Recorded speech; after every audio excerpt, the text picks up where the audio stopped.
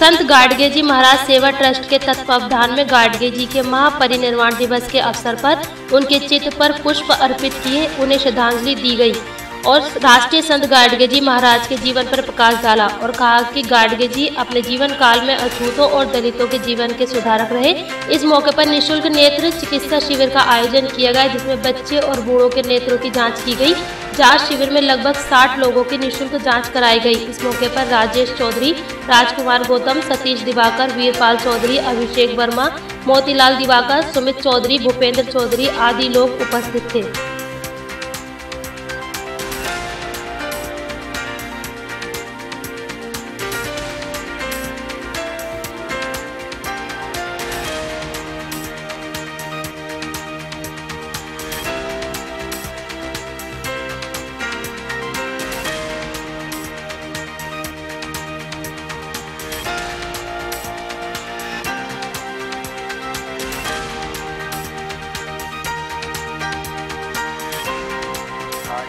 राष्ट्रीय संत श्री परम पूज्य संत गाड़ी जी महाराज जी परिनिर्वाण दिवस पर निःशुल्क नेत्र चिकित्सा शिविर यहाँ स्थान यज्ञ भवन स्कूल देवानिका बाज़ार में लगाया गया, जिससे संत गाड़गी जी का जो मिशन था, भूखों को रोटी और वस्त्र को वस्त्र और निरोग, रोगियों को निरोगी करना, यही इस मिशन को आगे बढ़ाते हुए संत गाड़गी जी महाराज सेवा ट्रस्ट, मुरादाबाद। आज ये कार्य कर रही है और लगातार कार्य करती रहे, रहेगी।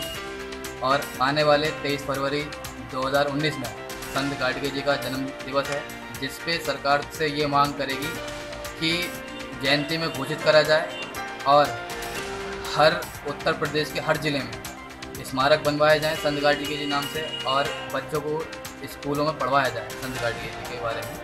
क्योंकि ये संत बहुत ही अच्छे रहे हैं और धोबी समाज से जुड़े हुए संत हैं तो यही आग्रह करेंगे कि इनके मिशन को आगे लेके जाना है।